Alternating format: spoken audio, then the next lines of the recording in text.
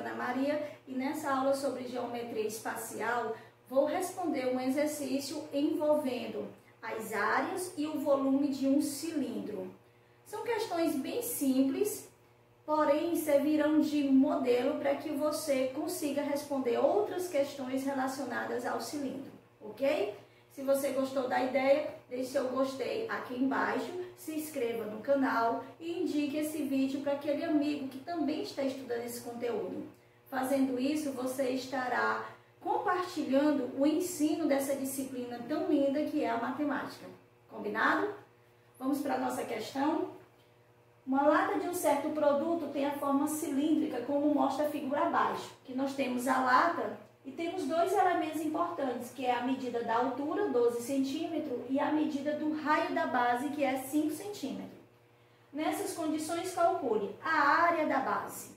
Então, sabendo que a base de um cilindro é um círculo, nós precisamos lembrar da fórmula da área do círculo.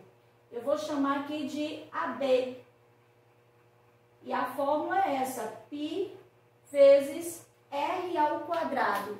Esse R representa a medida do raio, que nós sabemos, então é só substituir. AB é igual a π vezes o raio é 5 ao quadrado. AB será igual 5 ao quadrado, 25, vezes π. Temos, portanto, 25 π e no final vamos acrescentar centímetros quadrados. Pronto, já temos a resposta da letra A, certo? Não precisa você substituir o valor do π por 3,14 e multiplicar por 25. Essa resposta aqui ela já é aceitável. Vamos para a letra B. Calcular a área lateral. A área lateral de um cilindro é um retângulo, certo?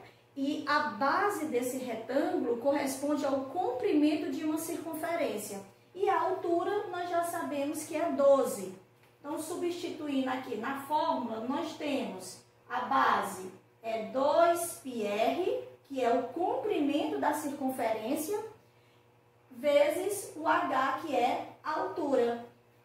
Vamos substituir aqui o valor do raio e da altura temos 2πr vezes o raio é 5 e a altura é 12. Portanto, o AL, área lateral, 2 vezes 5, 10, 10 vezes 12, 120 pi. E no final, centímetros quadrados. Pronto.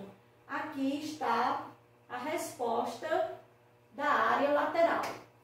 E a área total, que envolve todo o cilindro, ele é formado por duas bases e uma área lateral. A fórmula para encontrar a área total de um cilindro é essa aqui, 2πr, que multiplica R mais H. Vamos substituir os valores aqui, 2πr Aliás, 2π, o R sabemos que é 5. Aqui dentro do parênteses, 5 de novo, mais o H que é 12. AT é igual, posso multiplicar logo aqui, vai dar 10π vezes 5 com mais 12 dá 17. AT é igual 10π vezes 17, vamos encontrar 170 π centímetros quadrados. Pronto, encontramos a área total desta lata, certo? E se você não lembrar da fórmula da área total, você pode raciocinar da seguinte forma. O cilindro ele tem duas bases, ok? E tem uma área lateral. Aqui nós já temos a resposta da área da base e na letra B da área lateral. Então você pode fazer assim, ó. Ou, vou fazer aqui de outra maneira, 2AB, área total é formada por 2AB mais AL. O que, que é o AB? A área da base. O 2, porque são duas bases, mais a área lateral. Vamos substituir aqui os valores. 2 vezes AB é 25π, mais o AL 120 π, ok? AT é igual 2 vezes 25 dá 50. 50 mais 120 temos 170 pi centímetros quadrados. Olha como é a mesma resposta, certo? Essas duas respostas aqui são iguais. Por isso que a matemática é linda e é boa de se trabalhar. Tem várias maneiras para chegar no resultado final. Por último, temos aqui o volume.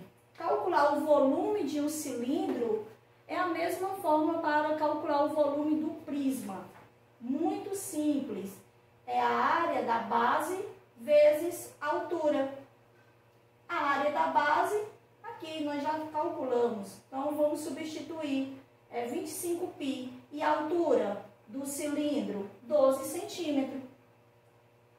Volume será igual 25 pi vezes 12, vamos encontrar 300 pi. E no final vamos acrescentar centímetros cúbicos, porque é volume.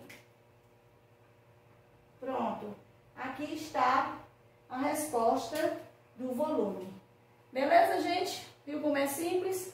Espero que você tenha gostado. Se isso aconteceu, de novo eu peço para você deixar o seu gostei e se inscrever no canal, ok? Um beijo a todos. Eu vou sair aqui e você pode tirar um print.